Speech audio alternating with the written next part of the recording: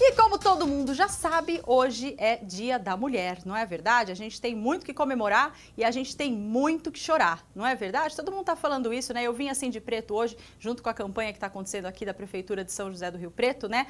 É, em solidariedade aí às mulheres que sofreram alguma agressão ou foram vítimas de feminicídio. Então, a gente vai junto com isso. Mas a gente também tem muita coisa boa para falar, né? Então eu acho que a gente tem que levar em consideração sempre os dois lados. Eu poderia hoje fazer um programa muito triste, né? Mas eu resolvi fazer um programa de homenagem e um programa talvez de luta e conscientização para que tudo isso pare. E é aí que a gente vai entrar agora com as minhas convidadas, que é a Nathalie Gingold, que é doula taróloga, e também a Mauri Leão Cury, que é titular da Secretaria Municipal de Direitos e Políticas para Mulheres, Pessoas com Deficiência, raça e etnia.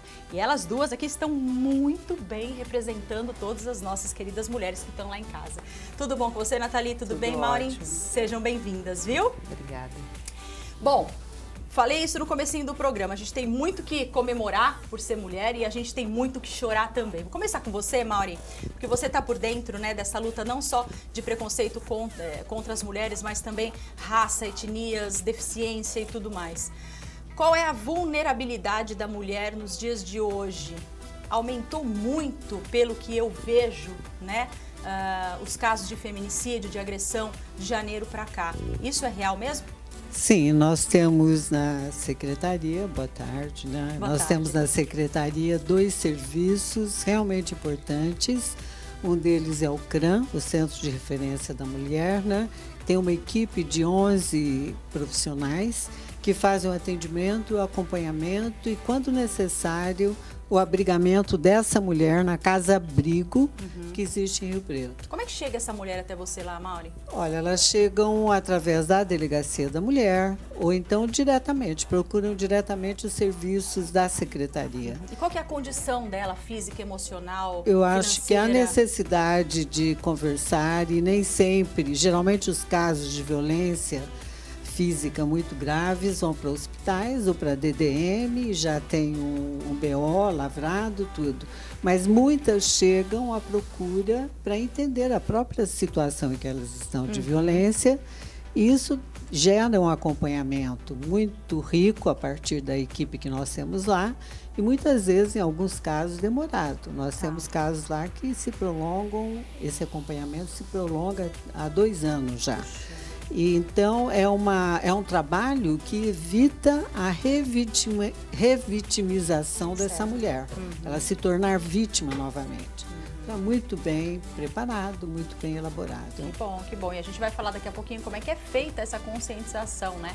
Porque é muito difícil e muitas mulheres não enxergam que estão sofrendo uma violência. E aí é que começa talvez um grande problema. A Nathalie está aqui, foi escolhida para vir bater um papo aqui hoje com a gente, porque é, você tem uma história de vida muito bacana, né? Uma história de vida como mulher, como mãe.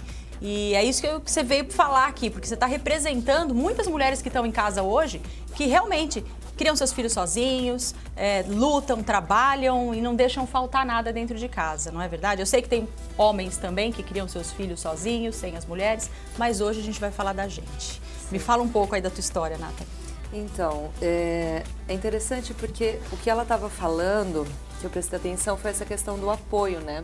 Eu me separei há praticamente quatro anos atrás e eu não tinha renda, não tinha um trabalho fixo, só cuidava dos meus filhos. Quantos filhos você tem? Eu tenho três, tá. mas eu estava grávida do terceiro.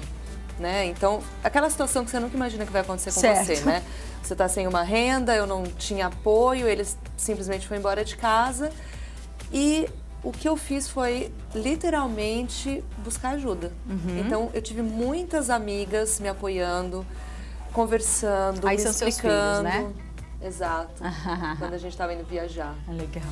Então, tive... Suas amigas próximas, então, próximas, que te auxiliaram. exatamente. Então, e eu recebi ajuda de vários lugares, na verdade, né? Uhum. Não foram só das amigas, mas foram elas que falaram, Nath, as coisas não precisam ser piores. Talvez seja uma oportunidade de você mudar.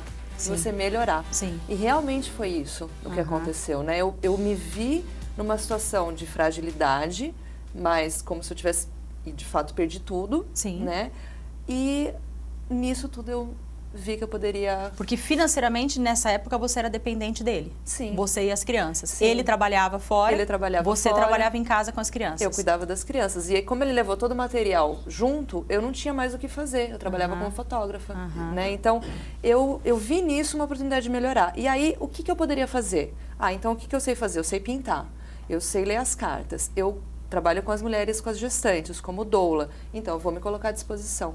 Certo. E aí nisso eu fui melhorando, fui conhecendo outras mulheres, me fortalecendo e hoje eu não troco minha vida por nada, porque ela é exatamente do jeito que eu queria. E, e você viu o que ela disse, né? Ela perdeu tudo, né, nesse momento. Graças a Deus, né, Nathalie, que vamos dizer assim, que ele foi embora e não, não chegou a ter uma agressão, não chegou a, a ser pior, né? Mas, como ela disse, Mauri, muitas mulheres sofrem tudo isso, que eu acho que é um, um dos piores problemas é que é, dependem do marido para pôr comida dentro de casa. Então elas falam: não, pelos meus filhos, eu vou passar por essa situação, pelo menos eles vão ter arroz e feijão. E como sair dessa situação que é muito difícil? E levam muitos anos para se conscientizar da necessidade de ter ajuda, né? Então, a equipe da secretaria recebe essa mulher, orienta, acompanha e, quando necessário, quando há risco de morte, ela é encaminhada para a Casa Abrigo, que é uma outra equipe que também acompanha, dá continuidade ao trabalho. E eu queria ressaltar também que essas duas, esses dois serviços têm, eh, são referências regional. Nós Tá. temos um protocolo na região com assinatura de 39 municípios que muitas vezes vêm procurar orientação aqui em Rio Preto. Então, eh, a cidade é referência, a secretaria é referência, e esses serviços são realmente atendem a região. A Casa Abrigo foi instituída no primeiro mandato ainda do prefeito Edinho Araújo, em 2003. E a Casa Abrigo, ela é uma Casa Abrigo regional. Tá. Então, e o protocolo que nós fizemos com os municípios, com 39 municípios, é um protocolo regional de assistência à violência contra a mulher. Então, tudo isso é muito, muito sério, É muito bom importante. saber, bom saber que existe, né, uma ajuda assim. Já vou voltar a conversar com vocês aí sobre tudo isso. Quero ver mais fotos tuas, quero saber mais de vocês. E falando em incentivo, pelo bate-papo que eu tive com a Gra e com vocês duas, eu acho que uma palavra é, que pega aí é a dependência, né? É a dependência emocional, talvez culturalmente, da mulher ser romântica, né? Dos nossas avós quererem é, viver, casar, né? O grande sonho da mulher de antigamente era casar, ter filhos, né? Ser uma boa dona de casa. Isso tudo também mudou com o tempo, mas às vezes pode ter ficado alguma raiz dessa dependência emocional que a gente coloca dentro do nosso parceiro para fazer a gente ser feliz, né? A outra dependência é a financeira, como a gente falou. Vocês viram agora na matéria, né? Ah, e é outra coisa quando eu tenho meu dinheirinho. E não é, gente, é, porque isso dá uma certeza. Sem dinheiro ninguém vive. Não adianta. Boleto tá aí, né? Tem um amigo meu que disse que abrir o olho é 20 reais.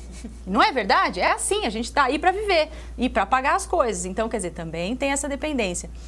Você, no caso, falou para mim que teu marido saiu, te deixou grávida com duas crianças e você sem renda nenhuma.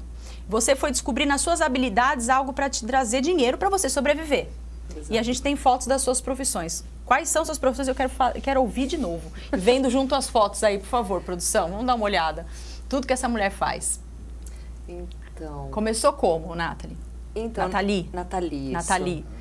Olá. Eu já estava acompanhando. Essa é de uma oficina de mandalas, né? De pinturas. Aqui foi aquele dia também que eu faço artesanato. aqui, mandala de fios, né? Mandala de fios, exatamente. Eu sou taróloga Tá. desde pequena, por conta da minha mãe, da minha família. Uhum. Né? Então, sou pintora, né? Dou É aula. artista.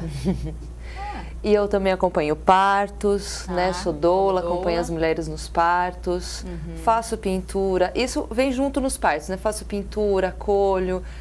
Esse também é mais em mais um parto, né? Eu com a gestante. Essa é uma Ai, das minhas lindo. mandalas. Muito bonito. E, tudo isso você já tinha dentro de você, muito disso desde pequena. E Já. aonde que se apagou?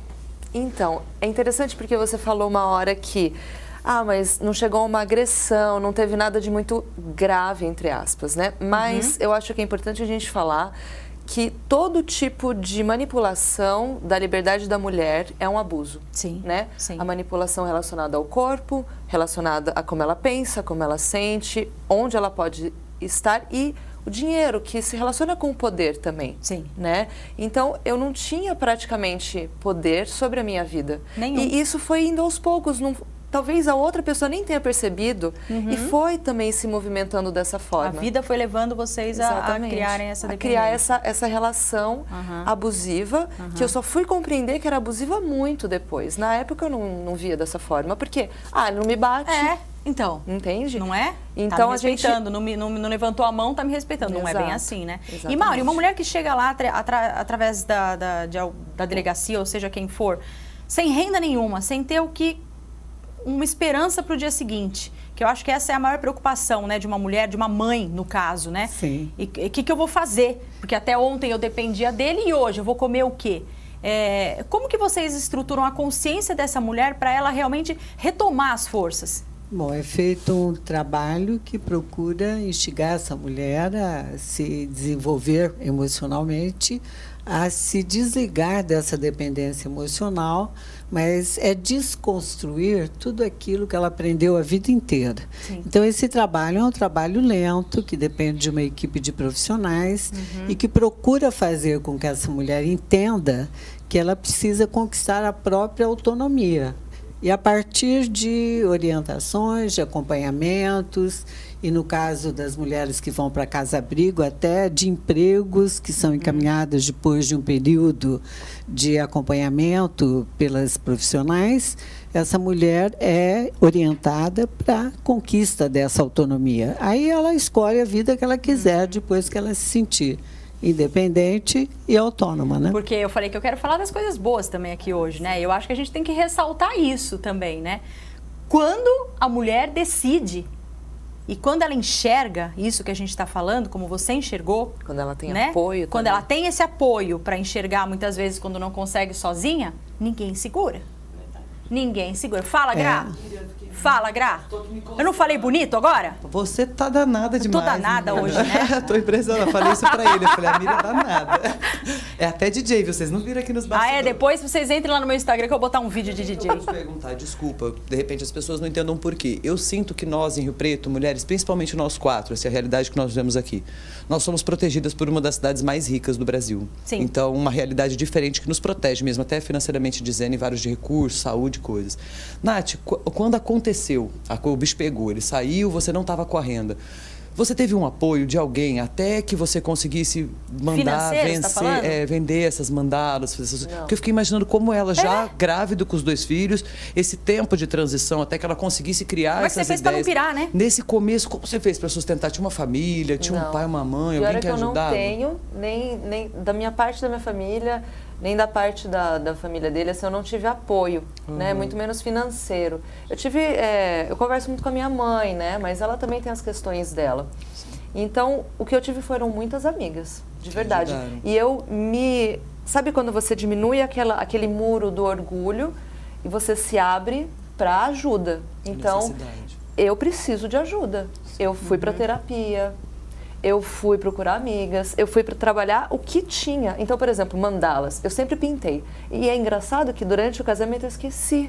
Eu não Olha pintava. Interessante isso, Que né? coisa. Eu só fui me dar conta depois. E voltou. E Isso é o voltei. legal, né? E uma amiga que estava abrindo uma escola, a Natúcia, ela falou, Nath, eu gostaria de uma arte sua, Lúcia, faz alguma ela coisa linda. Já, linda. E ela, e eu falei assim, ah, eu posso fazer uma mandala. Pergunta se eu estava fazendo, eu nem lembrava como eu fazia. Eu falei, você compra um material, que eu só te cobro o material. E aí eu faço, eu fiz a mandalona enorme, que tá lá. Que nas comunidades, a Amanda, eu vejo que o pessoal que tem feito os trabalhos socioeducativos tem martelado em cima, muito alertando as meninas sobre a responsabilidade de ter filhos, né? Sim, Sem antes sim, você ter sim. esse preparo e essa condição de estar.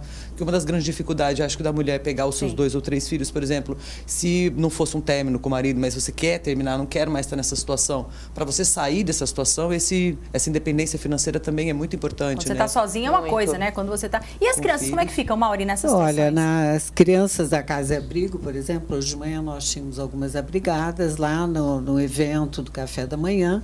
E essas mulheres fizeram todo o café da manhã da Casa Abrigo. As crianças acompanham as mães, tem todo um acompanhamento. Existe uma equipe de profissionais que fazem que faz o acompanhamento tanto da, das mães quanto das crianças, né? Filhos até 18 anos podem ficar abrigados junto com as mães. E tem todo também. aquele motorista para levar até a escola. Então, uhum. é um serviço aqui em Rio Preto é o que você falou.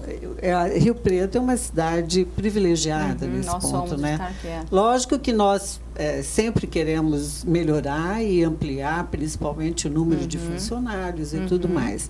Mas isso depende, lógico, das possibilidades do orçamento lógico, municipal. Lógico. Tudo isso. E também da mulher isso. querer ir é, até de, lá, de, de procurar vocês, tudo. né? Isso. Mas o importante é divulgar que, existe, que existem esses serviços em Rio Preto, que existe todo um protocolo firmado com a região para atendimento da violência, né? Uhum. E que essa casa-abrigo, inclusive, é uma casa-abrigo regional, como eu já falei. Tá bem, né, gente? Agora, ó, se a gente invertesse os papéis um pouquinho, né? A gente foi aí, nossa produção foi fundo pesquisar alguns comerciais antigos, né? Bem antigos aí, e eles eram completamente machistas. E aí, olha que bacana, sensacional ideia desse fotógrafo libanês, eu não sei falar o nome dele direitinho, deixa eu ver, é o Eli Ressalak, acho que é. Ele resolveu recriar, gente, as propagandas machistas dos anos 40, 50 e 60. O resultado ficou sensacional que a gente está conferindo agora aí, ó. O, esse primeiro, né? Não se preocupe, querida, você não queimou a cerveja, né? Ou seja, você queimou só o jantar, você não queimou a cerveja. E olha lá, agora invertendo a situação, o cara chorando ali, né? Porque ele é que fez o jantar. Pode passar outra foto, por favor. Vamos ver. Agora a próxima. É bom ter uma mulher em casa. Gente, eu não tô brincando não, viu? Essa foto que você tá vendo aí do cara pisando na cabeça da mulher, isso aí já foi uma propaganda. Né? Aí o fotógrafo fez aí o, o outro lado, né? É bom ter um homem em casa. Olha lá o cara com a cabeça no tapete, né? Mulheres, não saiam da cozinha. Olha lá.